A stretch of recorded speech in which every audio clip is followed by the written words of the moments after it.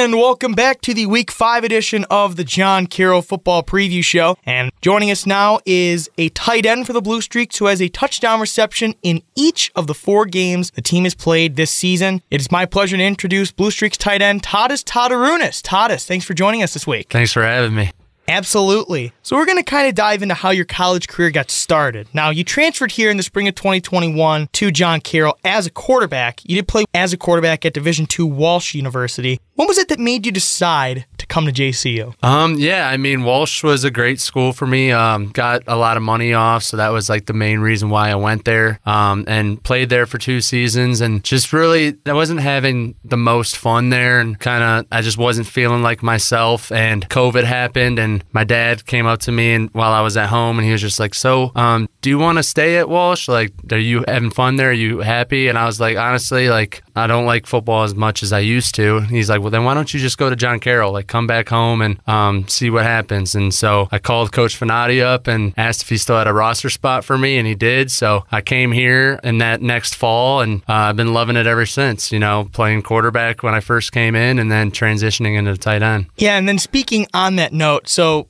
in high school, you also played quarterback really all the way through for your entire football career. You did play at Mentor, a local high school here in Northeast Ohio. There's been plenty of quarterback talent there. Former Blue Streaks quarterback Jake Floria, also current NFL quarterback Mitch Trubisky.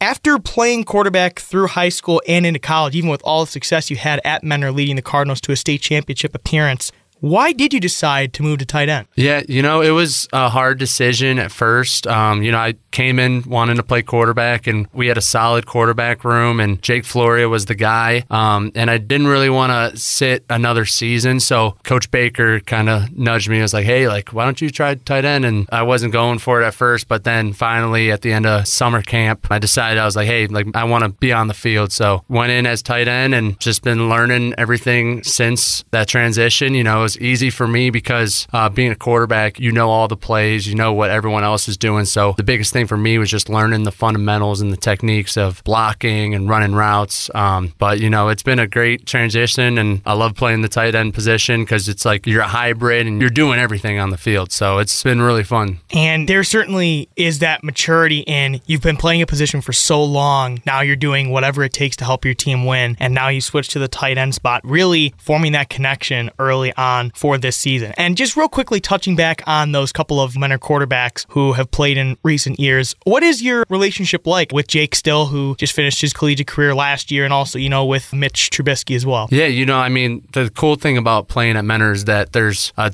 tight group that always stays when you go there. Um, so I know Mitch Trubisky pretty well because I'm good buddies with his younger brothers, Manning and Mason. Um, with Jake Floria, he's been one of my good buddies for the longest time, you know, playing basketball or football with him since going back to the NYFA Youth League games. So um, it's been really nice and it's a cool thing to be a part of coming from Mentor because it's just, you know, what it takes to be a Mentor quarterback and just being in that successful culture on that team, you know, leading Mentor.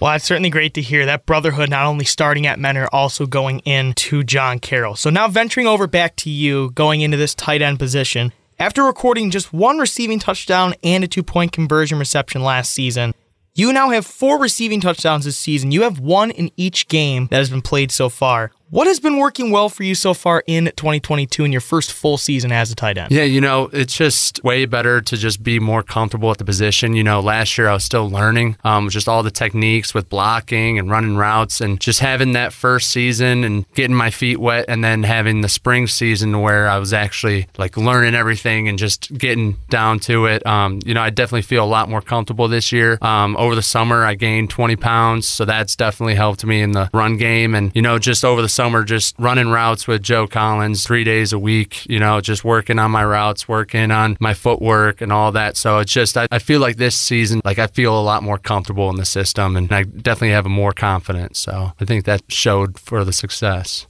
Well, sounds like as you're getting more reps and practice in, you're starting to get better at that new position. Tight end Tadas Tatarunas is our guest on the Week 5 edition of the John Carroll Football Preview Show. And speaking of again that tight end group that you have here right now in 2022, Coach Austin, he's in his first season as the tight ends coach here at JCU. You do have a lot of veteran experience in that room. Tyler Hughes, graduate student, Nate Trudeau, a senior on the team as well. How has the tight end room gotten along so far in the 2022 season? You know, I, I like to say the tight end group is the best group on the team. Um, I'm not biased towards it, but we're just a, such a close group. You know, we have a lot of different personalities and we mesh really well. Starting off with me, Hughesy, Trudeau, and uh, Lang, you know, we have a solid group. Like, we're the most experienced group on the team. And I mean, I would put our tight ends up against any other tight ends in the nation, and Coach Mack would say the same thing. So, and then kind of you being in that room as well, you also have that perspective as a former quarterback. So, how has that helped you?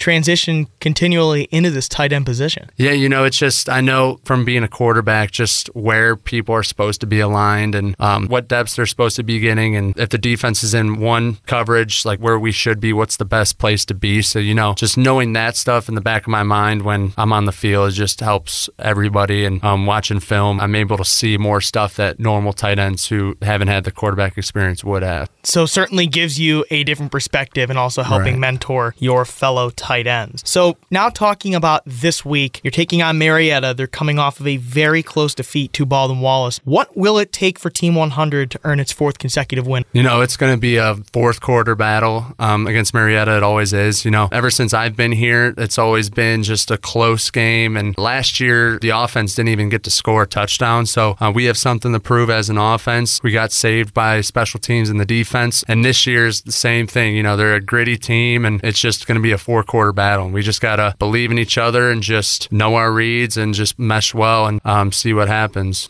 Certainly seems like a good one is on tap for today. So we're going to venture a little bit off the football field now. We're talking plenty about your football experience and the current state you're in now playing football. So what do you enjoy doing when you're not on the football field? I mean, I'm I really don't have much time during the football season, so I'm usually just studying or doing homework. But um, in my free time, I like hanging out with my roommates, um, hanging out with guys on the team. You know, on Mondays we have off, so the tight end group usually tries to get around a nine or 18 at golf. So it's been good team bonding that we've been having, and uh, it's been very fun. And I do know you were also a former basketball player at Mentor High School mm-hmm. too. Do you guys ever maybe shoot hoops? Perhaps maybe not during the season. yeah, definitely not during the season, but uh, in the off season we'll play hoops, um, whether it's outside at Shaker Park or whether it's IM leagues. Well, that's nice. You guys are still keeping that team yeah. bonding going even when it's not during the season. And now talking about you a little bit more personally too. You're a fifth year senior here at John Carroll and you are an accounting major. So do you have any plans in mind at the moment as your collegiate time is coming close to an end? Yeah. Um, so I did an internship with Cohen and Company, which is an accounting firm downtown. Um, ended up really liking it and they offered me at the end of the internship and I accepted. So the goal right now is just to finish up my 150 credit hours, take the CPA exam over the summer and start sometime in October. Um, so I'm excited for that, but I definitely want to live the football career as long as I can because there's nothing like it. Yeah, certainly want to savor every moment yeah. that you have left. And congratulations on that position that you've you. recently Thank you. accepted. Uh, we're going to now transition into our final segment of this interview for this week. Do you want to thank you once again, Tadas, for taking the time to sit down with us. It is a bit of a rapid fire type of deal. Now, there's no timer or anything. It's just a couple quick favorite questions, just so okay. Blue Streak Nation gets to know their tight end a little bit better. Nice. Are you ready? Nice, yeah. All right, perfect. Firstly, what is your favorite food? Uh, any seafood, all seafood. I was hearing a lot of steak recently and last nice. season, so definitely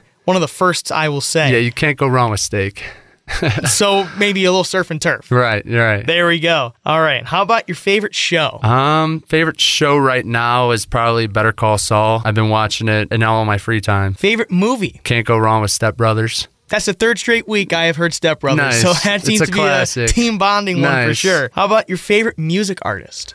Probably the Red Hot Chili Peppers. And not too much hesitation on that yeah. one too. Is that also one maybe for pregame hype music, or yeah, is that yeah, for different? sure, for sure. Gets uh, my emotions in the right space. How about your favorite all time? Because I know you've transitioned from quarterback to tight end. Mm-hmm. Who's your all time favorite tight end? Probably be Travis Kelce. You know, he's a Cleveland guy, and I just love the way he plays. Um, he's definitely the best in the game right now. Yeah, Travis Kelce, another Cleveland area product, like you mentioned. He mm-hmm. attended Cleveland Heights High School. And finally, your favorite all time football player? Favorite all time football player has to be Tom Brady. You know, growing up playing quarterback, I've always looked up to him, and he's the GOAT for a reason. So I always wanted to make sure how I played was similar to his. So So that certainly keeps you as the quarterback at heart, Yeah. but still playing tight end right, Right, now. right. Absolutely. Well, Thomas, it's about all the time we have for this week. Thank you once again for taking the time and best of luck against Marietta. Awesome. Thanks so much for having me. It's been fun. Thank you for coming in. Absolutely. That was Blue Streaks tight end Tadas Tatarunas for our week five interview. And coming up,